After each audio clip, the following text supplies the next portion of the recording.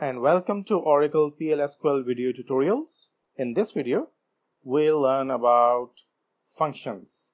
Functions are also subroutines or named PLS, PLSQL blocks like procedures, but functions must return a value.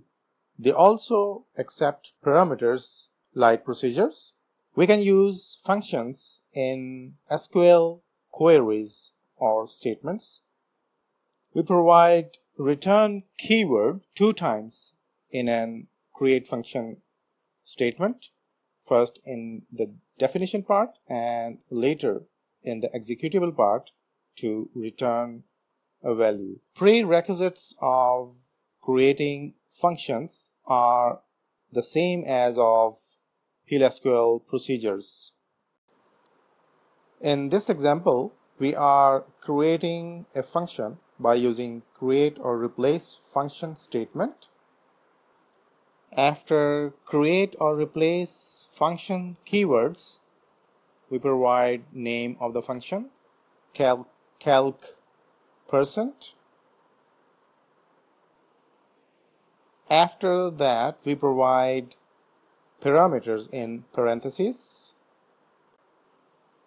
In return clause, we are specifying the return um, data type which is number in this case and after is clause we are declaring a variable of number data type.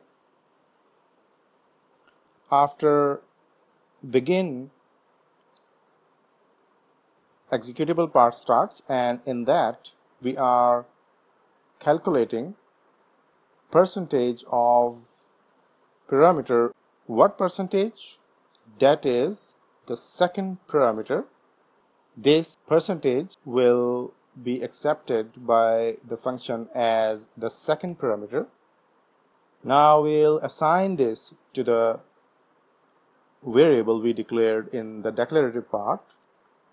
And in return statement will return its value.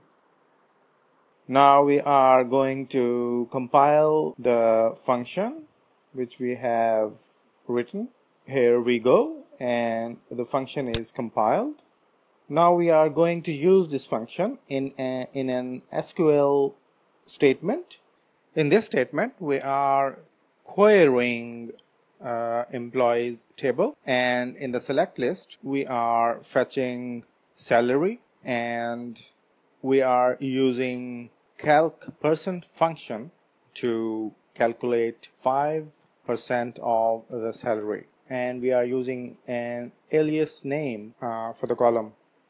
We are not uh, restricting our rows so where clause we are not using where clause. So let's execute the statement. And in the result you can see salary as well as the column which is calculating 5% uh, of the salary uh, by using calc percent function